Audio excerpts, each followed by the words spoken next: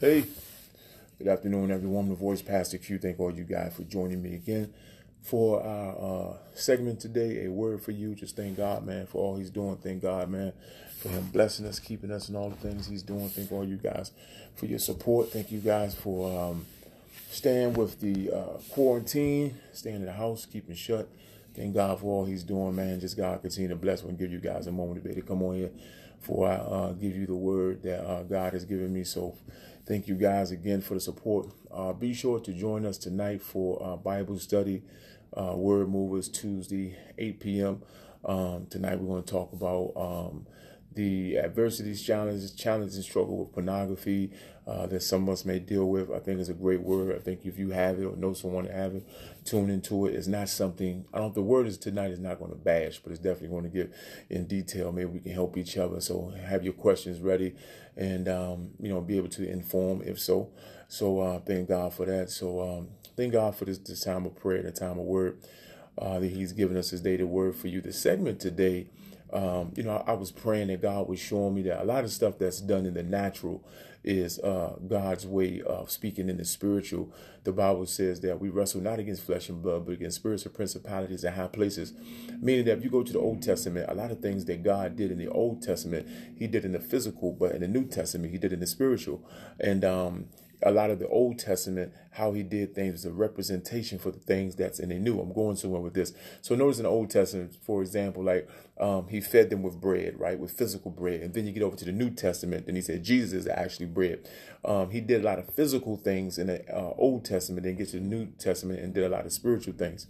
So I was praying, and what God was showing me. So I, I posted the scripture in uh, I think it's First John chapter 1 verses 7 and it talks about the uh, blood of jesus being have with the ability to be able to cleanse you from all sin. So what god was showing me he says listen um, a lot of people right now are wearing masks they're wearing gloves and they're trying to keep clean and they're using all these things for a covering. And god was showing me he says that um this is what the people are going to have to prepare to do on a daily basis. But in a spiritual place, God says you and I, you and I are going to have to be covered. And it has nothing to do with the mask. It has nothing to do with the gloves, but it has everything to do with the blood. So the thing is that a lot of people are wondering, what do we do once the doors open? God is saying, even after the doors open, it doesn't matter what doors open. What does matter when you go out, are you covered, right? The word sounded kind of cold when I heard it from God. But what God was basically saying is that the word hasn't changed, that we all still need to be covered by the blood of Jesus, meaning that we don't need to do anything different. But God says you still must have the covering because the covering represents what it has always represented that if you happen to die, and you don't know Jesus Christ as Lord and Savior, or if you do die and you do know Jesus Christ as Lord and Savior, we believe and know that you are covered because there's power in the blood. Yes, the blood has the power to cover me. The blood um, shows that my sins has been paid and I'm no longer debt to the sin. But the blood doesn't always keep me from getting sick. The blood doesn't keep me from getting the coronavirus. But what the blood does keep me what, what the blood does do when it's applied, it means that regardless of what happens here on earth, that afterwards I'm going to go be with the Lord because to be present, to be absent from the body is to be present with the Lord. To live as Christ is die, to die is gain. So God is not saying even after the doors are open that he's going to remove the coronavirus. God is saying that in this time, in this season, in the end times of where we're at, everybody's just going to have to be covered. I know that sounds cold, but God is saying that He, you know, there, there, there may not be a movement of the coronavirus. We may see the numbers go up, we may see the numbers go down. But regardless of what the numbers do, you and I just have to make sure that we are saved because no man knows the hour nor the time. I, I don't know when I'm going to die. I don't know how I'm going to die. I mean, I could wear gloves and a mask and die in a car accident. I can be wear a glove and mask and I can be shot. I can wear gloves and a mask and die of cancer. Um, I can wear all the gloves and a mask and I want to to protect me from coronavirus and die from something that's contrary. So, so the word of God is speaking the same today. It, it's not about me being covered with my gloves and mask, though you should wear them because we're supposed to. But at the end of the day, are you covered? And you know, a lot of people that sell life insurance sell it this way: if something was to happen to you, um, you know, who would take care of things? Well, we're, we're, we're selling Christ insurance Whereas that, you know, you get saved. You call the name of the Lord. The Bible says, whoever call the name of the Lord shall be saved. You get saved. And you should know that regardless of what happened, whether it's corona, whether it's cancer, whether it's diabetes, whether it's some tragic accident, some freak thing that happens, you know that you are covered because um, God did not promise us uh, how we were going to die. He, we know we're going to die. I mean, some of us may be here when the trumpet sounds off, and when the dead in Christ rise, we shall rise with them. But what God is saying is that everybody must get saved. Um, it's not about Him removing the coronavirus. It's not about seeing the numbers drop, because we're living in a time right now where God is showing me the numbers may never drop. And that doesn't mean that we're going to be, but see, the thing is that the numbers may not drop, but that don't mean they're not going to open the doors. So listen, Paul says delivers crisis dies gain. You know, I heard somebody say this and they said it from a comfortable place, and it may sound cold that whatever death is given to me, that is my ticket out of here. So, we as Christians, the Bible says to set your affections on things above, not on things beneath. You know, it's hard for a pastor or preacher to preach this type of word because every pastor wants to preach the word to say, You shall live and you shall not die, that this sickness is not unto death, but for the glory of God. That's not in all cases, but they quote that by his stripes you are healed. You're going to tell somebody by his by their stripes, by his stripes you are healed, they have corona and they're still going to die. People have told people, I have told people, by his stripes they're healed and they still die. You know what? Because that's not what that scripture means. The scripture means that the stripes that he took on the cross for sin, not for your physical health. That's the problem. When the scripture is quote quoted, they say, By his stripes you are healed. You're healed from sin and death, not from the sickness of the body. And that's what the scriptures taught. And that's why people quote scripture wrong. And that's why people have people bedsides right now say this sickness is not into death, but the glory of God. And, and, and people are, are, quoting those scriptures and um, saying by his stripes we are healed. We're healed from sin, not from cancer, not from diabetes, not from AIDS, not from coronavirus. So if you understand that, you understand that the blood of Jesus keeps you and protects you. But it's it's it's up to God how you leave here, what He allows. So even if you have the blood, even though you're saved, because there's some saved people I know that have corona. I'm talking about they love the Lord, serve the Lord. They're in the hospital, they fight for life. They have corona. Does that mean that they love God any less? Absolutely not. Does does it mean that they did something wrong? Absolutely not.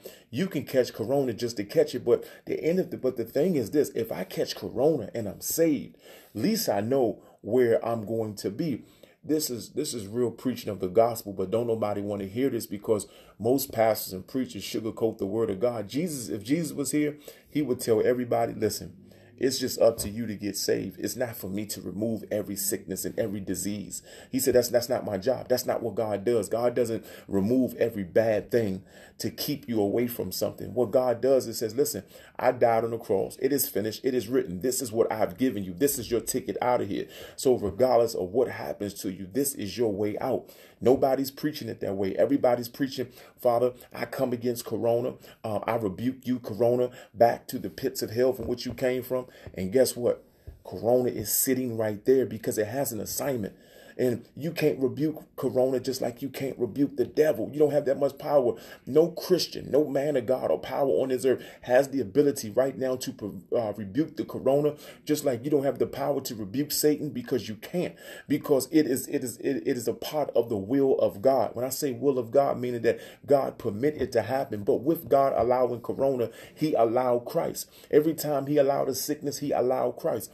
Christ is there. So whatever type of sickness comes, that's that's why Paul Paul said that he he learned that with in whatever state he was in, whether he was abased, where where he was abound in all things to be able to be content. I mean, it, it, it doesn't matter whether we're poor, whether we're rich, sickness, famine, health, none of that stuff matters. At the end of the day, all that matters is, is that you and I are saved.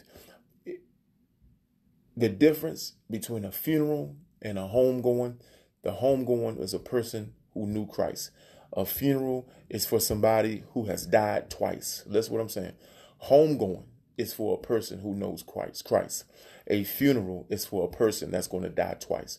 So I hope you guys receive my hope this receive you uh, you guys receive this message today, man. It's definitely blessed by God. It may sound cold, but at the end of the day, we are ambassadors for Christ. Uh, heaven is our home. Heaven is our destination. This is just a visiting place for us. God did not promise that we were going to be here forever. Our assignment has always been to get souls saved and preach the preach the unadulterated word of God, preach Christ crucified, um, not to pray that every bad thing that happens gets removed. Those are the people who are trying to win your membership or win your approval that pray like that. Any man or woman that's preaching this type of gospel knows that it's not a popular gospel. Know, knowing that who who wants to who wants to hear God say, I'm not removing corona. I've already given you my son. I've already given you the cure for all of that. I've already made it so that regardless of what happened, you are with me. I've already gone to prepare a place for you that where I am, you may be also. If Jesus, great teaching, has gone to prepare a place for you, and heaven is your final destination, why do you think he would keep you here? Answer that question for me today if he's gone to prepare a place for you and I, and in his father's house is many mansions, why do you think he would stop you from dying? Why do you think that he would keep you here? I know that sounds selfish, but I really want you to get into great maturity of Bible teaching and understanding. If you really love God the way you say you love him and you and you want to be in his presence and you serve him and you have laid down your life for him, why would he keep you here? knowing you could be there. That's not his will. His will is not to make you uncomfortable. His will is not to make you comfortable on earth. His will is to make you uncomfortable on earth because hopefully you'll reach out to heaven. God will never make earth any better because it works against his plan. He hopes that you you you witness hell on earth so you seek heaven.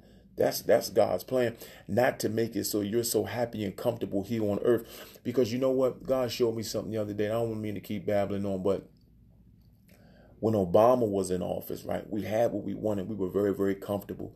Um, you probably wouldn't believe this, right? But less people came to Christ when Obama was in office. You know why? Because we were comfortable. We had what we wanted.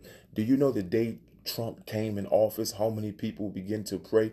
How many people turned over their lives to Christ because they were fearful of what he's doing? The the um the hubrisness and the um acts of uh, whatever you call that Trump does has brought more people to Christ than anybody. Not Trump.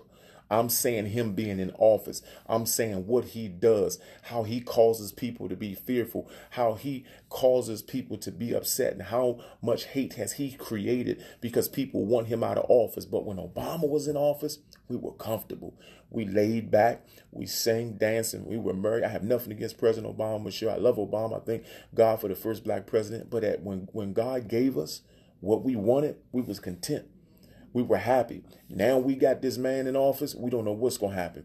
And we're running to churches, running to God, praying more than ever because we have something in office that uh, we don't agree with. It's the same thing that the children of Israel did. They asked for a king, and God says, Listen, um, I don't want you to have a king, but if you want this king, I'm going to allow you to have him. But let me tell you the, the, the consequences and repercussion that comes along with King Saul. And they asked God for a king. God gave them a particular king. They never chose King Saul. God gave them King Saul because he knew what type of king King Saul would be, just like he gave us Trump because he knew what type of uh, president Trump would be. And they, they voted for Trump. They got Trump. And guess what? Now they don't even want him in office.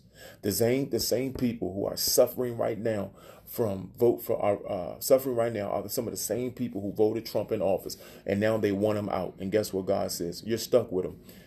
I, I wouldn't be surprised under great teaching and then under under knowing how God works.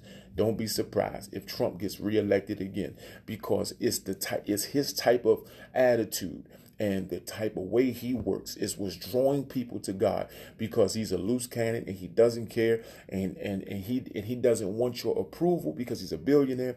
He he doesn't move like all the other presidents move. And if you don't think that type of man is set by God, you don't understand great teaching because he's a type of Pharaoh. Pharaoh was just like a Trump. He, he didn't care. He was fearful. He didn't care about what nobody said, just like Trump. But God allows a man like that to be in office that he may draw people unto him. If you had Obama for for a third term, trust me, you wouldn't be pushing like this because Obama wouldn't allow nothing like this to happen. So therefore, it would have been able to keep you comfortable. You got to understand how God works. God don't always use the things that we like. He used the things that we disagree with to bring us to Him. You can put another black man in there. You could put, uh, uh, uh, uh I don't know you know, whoever you want to put in there that's black. And it could be something that you want. And As soon as you get what you want, you're going to be relaxed and you're going to sit back. But if God puts something in, something that you think is hateful, something that, that you think is racist, or what's going to cause you to move. And guess what? Through the, uh, uh, um, through, through Trump and his administration and things that happen right now, man, we on pins and needles. But guess what? It has caused us to all get back into church, caused us to all back get back into the face of God, whatever your religion or nationality is. It definitely has been a wake up call. Father, we just thank you right now for this word. We thank you for this time. We thank you for your revelation. We thank you for your truth right now, Father. May you just continue to be with us, oh Father God, and bless us. In Jesus' name, Father God, cover all these great people, their family members, their friends, their kids. May you just continue to watch over them all. In Jesus' name we pray. Love you guys.